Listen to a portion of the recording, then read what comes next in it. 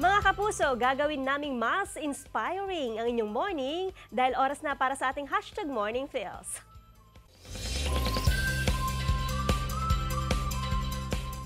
What you do today can improve all your tomorrows by Ralph Marston.